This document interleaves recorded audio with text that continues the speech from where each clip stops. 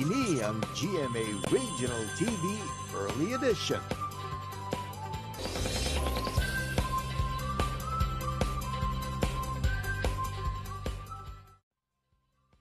Magluwas sa hilig sa pagkolekta sang nagkalain-lain nga mga bagay. Sa lakyan man ang isa sa mga hilig sang bakulenyo nga negosyante nga si Christopher Limshaco. Ang negosyo gani sini, isa ka car rental business sa Bacolod City. 2016 sang isa sa iya mga naging kliyente ang nagtanyag nga ibaligya sa iya ang vintage car nga Volkswagen Beetle nga sang 1960s paginhimo. Wala na si Christopher sang pagpang duwa-duwa nga baklo ng Beetle. Sa karon ini ang yara na sa maayo nga kondisyon. Ini man ang naging bridal car sa iya kaugalingon nga kasal. Hi there! This morning, mga kapuso, interesante naman yung topikong aton pag-istoryahan. Cars ukon mga salakyan! Te, di ba na be? Paano bala magbentenar sa mga dinumaan yung salakyan ukon vintage car? Amoy na mga kapusong aton hibalo this morning. Siyempre, inang aton talakayin kaupod ang isa sa mga nagapanag-iya sa mga vintage bridal cars diri sa Bacolod City ng isa ka Beetle. Mga kapuso, let's all welcome si Sir Christopher Limshaco. Hi Sir Chris, good morning! Welcome to GMA Regional TV Early Edition, may aga. Hi Adrian, good morning man. Kag sa tanan nga nagalantaw sa GMA Early Edition. I'm pretty excited to know the reason behind this one. Nga aman, nainganyo ka mo nga mag-angkon sang isa ka vintage car. Ah, kay halin sang una gusto ko gid maka kuan makaangkon sini sang vintage nga salakyan kay hili ko gid ang salakyan. So one time ang amon nga client permiya ni ginadala ang Volkswagen sa office kag ginhambalan ko siya nga kung ibaligya iya basi pwede iya sa ako niya ibaligya. So sang December 2016 nagkanto siya sa office kag naghambal sa nga ibaligya sa akon. Ti amo to nag-decide kami nga ginkuha namon kag ah, nagamit pa namon sa kasal namon ni Mrs. ko sang January. Sir Chris, kabahin ka bala sa isa ka grupo sa mga vintage car collectors diri sa probinsya sa Negros Occidental? Oo, kabahin ako sa Volkswagen Club of the Philippines, Negros Chapter. Kag ako ang president. Kag sa diri naman niya sa Bacolod, ang Tambay Bacolod. Sir, ano lang ara sa mga daan yung salakyan nga you are very much attracted to it? Kaya ang mga daan nga salakyan, ang wala galiwat ang ilang itsura unlike sa subong nga mga bag-o nga mga models nga ah, every 2 years, 3 years galain naman ang itsura. Kag ini saya inang tama ka basic kung sa mga mekaniko naman hindi sila yung mabudlayan.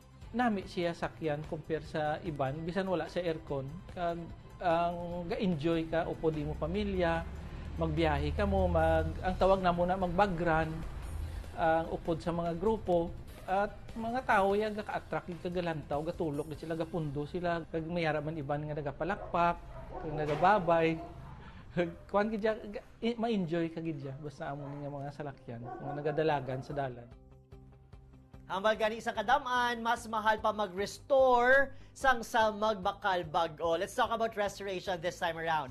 Anong maging bag-o sa salakyan kag pila man na gasto mo? ang pag-restore namon sini kay pagbakal namon sini kuha na gid siya mong maayo na gid ang iyang alawas ang makinaya running gid siya kag nami gid siya good good condition gid siya. Ang amon lang to again restore pag restore namon sa iya ang iyang paint no? Tapos may mga kuan man kami accessories nga ginbakal magasto man mag-restore ka sa salakyan depende man sa budget mo. Ang ako nagasto sini mga 300,000 na sa pag-restore kung may ara man mga kilala ko ibang galabot ng 500,000 to 1 million. Ngayon ang ginakuhan gid nila yung ah, ginasunod nila ang iban nga mga kalok magsiling ka kalok mga California look. Nga gaili sila gumang suspension ginaliwat nila ginalowered nila. Ti kung diriya sa Pilipinas budlay na sa sundon kay tungod man sa kondisyon sa aton diri nga dalan Subok no, kung may ara ka driver's license, di, pwede kaya karikila sa lakyan. Pwede ka kakuha na yon. Ora mismo. Aria, how does it work with your client kung let's say rentahan nilang imo Beetle, ano man ang number one pwede, number two ang hindi pwede obrahon? Self-drive, pwede ba la? So, ah kung parintahan namon ni ang Beetle, dapat amon gid siya driver ang ma-drive sini kay kung first time ka palang way ka pa kaagi drive sa Bicol, ti, mabudlayan ka gid. Kag base may maguba pa. So ginahalungan gini namo ng Bicol kay ang maintenance ni medyo mabudlay kung when it comes na sa mga transmission niya sa engine. So amon gina driver, may RE kami isa ka driver nga na train gid sa pag-drive sini kung hindi sa available ako gid ang naga-drive. Sir Chris, kung kisara sa brand, kung kisara naman niya sa driver, kag syempre, ara sa paghalong o kung pagtipig sang salakyan.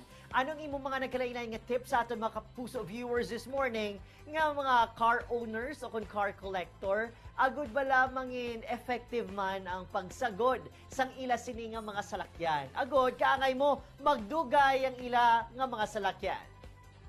ang importante gid ang regular maintenance kag kung may mabatyagan kamo gani nga diferensya sa salakyan ah, hindi nyo na pagpadugayan nga kung madugayan pa ma- madako na mong di madako gid ang inyong gasto. Samtang nabatyagan nyo pa lang na dumayara gamay nga diferensya ipakayo na dayon. Para nga less ang maintenance kag mag-tinir ang inyong salakyan.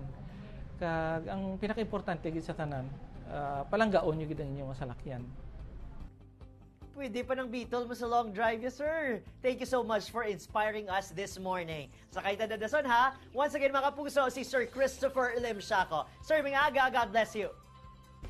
Yes, Adrian. Good morning man. Kag madamo gid nga salamat man kay gin-invite mo kami sa inyong ah, ah, show. Mga puso, at the end of the day, ang mga simple nga mga bagay kaangay sa mga dumaan niya sa lakyan o kung mga vintage car, hindi lang niya agad ipakita o kung ipabugal o kung itikal-tikal kung anong may ara ka as your possession sa sining kabuki. Ini mga kapuso, isa man ka pamagi agad balikan sa kaangay mga driver o kung tag-iya kag sa mga nagalinabay, sa mga residente, mga pumuluyo, nga balikan ang ila mga inagyan tion makita nila ang imo mga salakyan. O, Marka ba? Oh, salute!